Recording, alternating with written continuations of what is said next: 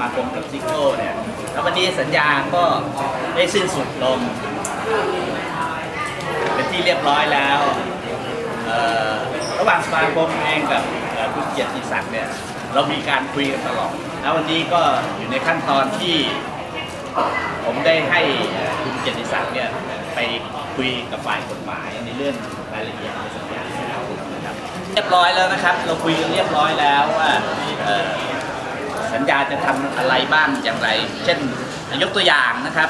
หนึ่งคุณต้องไปเปิดคลินิกให้ผมสามครั้งในต่างจังหวัดอย่างเงี้ยน้องๆคิดว่าเอ่อ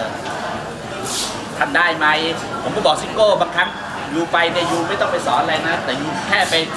ไปดอกบอลให้นักเรียนดูไปถ่ายรูปกับเด็กๆเนี่ยมันเป็นการสร้างแรงบันดาลใจนั่นคือสิ่งที่สมาคมต้องการแค่นั้นนะครับ ก็ก็ไม่ได้มีอะไรมากไปกว่านี้ ช่วงที่ผมเข้ามา ทำหน้าที่นายกสมาคมในวันที่หนึ่งมีนาคมปีที่แล้วนะครับ มันเป็นช่วงฉุกระหุกมาก แล้วก็รีบเร่งทำสัญญา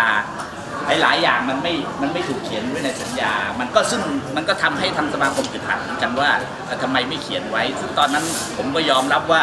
ผมไม่รู้เรื่องฟุตบอลเอ่อทางฝ่ายกฎหมายเขียนมายังไงก็เขียนไว้อย่างนั้น แต่ณวันนี้เราก็เอาสัญญามา revise ดีมันไม่มีในสัญญา แต่ณวันนี้เนี่ยเราอยากให้มีในสัญญาจะได้ไม่ต้องมานั่งทะเลาะกันว่าเออมาใช้ผมทำงานมากไปหรือเปล่าอะไรอย่างเงี้ยครับนี่คืออะไรผมเนี่ยนะเวลาคุยเรื่องพวกนี้ผมใช้ 5 นาที ผมก็คุยเสร็จแล้วแต่รายละเอียดเนี่ยให้เขาไปคุยกัน ก็อย่างที่บอกไงครับว่าสัญญาเนี่ยมันมีต้องสามสี่หน้า ถ้ารับไม่ได้ก็มาแก้ไขกันมาคุยกัน เพราะฉะนั้นผมบอกตลอดเวลาว่ามันต้องคุยกัน ไม่ใช่ผมนั่งทุกทักเอาคนเดียวว่าหนึ่งสองสามสี่และไม่ถามจริง ๆ แล้วเดือนเนี้ย คุณซิโก้ไม่ได้ต้องทำอะไรเลย เพราะว่า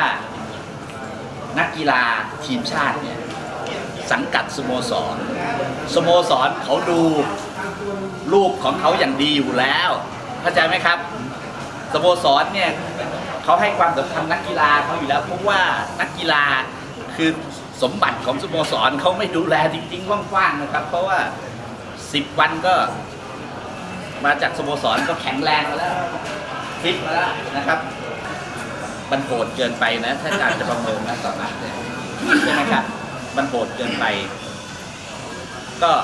เป็นหลาย ๆ อย่างที่ที่มันจะต้องเป็นในสัญญาเอ่อถ้าประเมินนัดต่อนัดก็ต้องเปลี่ยนโค้ดทุก ๆ เดือนน่ะใช่ไหมครับ มันก็ต้องเปลี่ยนโค้ดทุก ๆ เดือน มันมันคงจะไม่ไม่ใช่วิธีทีมชาติต่างจากสโมสร สโมสรนิยมเปลี่ยนโค้ดบ่อยๆ เพราะว่า ทีมผลงานไม่ดีแล้วสโมสรไม่เปลี่ยนโค้ดไฟก็ไหม้บ้านประธานสโมสรครับ เพราะฉะนั้นทีมชาติต่างกับสโมสรต้องให้เกียรติโค้ชทำจนจบ major tournament เข้าใจไหมครับ คือไม่ใช่อยู่ๆอยากจะเปลี่ยนก็เปลี่ยนเลยมันมันก็ไม่ใช่อะครับ ก็ไม่ใช่ เราต้องให้เกียรติเขาถ้านี่ ผมไม่ต้องไปไล่ซิโก้ออกหรอกนะครับ เอาตรงๆ ถ้าคุณซิโก้เขาทำผลงานได้ไม่ดีเนี่ย ผมว่าเขาเป็นลูกผู้ชายพอที่จะพิจารณาตัวเอง ไม่มีแล้วครับ ผมไม่ต้องไปกดดันหรอก ผมว่าน้องๆเองจะกดดันเขามากกว่า ถ้าเขาไม่มีผลงานที่ดี อันนี้ก็ต้องให้เกียรติกันนะครับ เพราะว่ามันยังไม่จบ major tournament ก็คือการแข่งขัน เวิร์คอลิฟ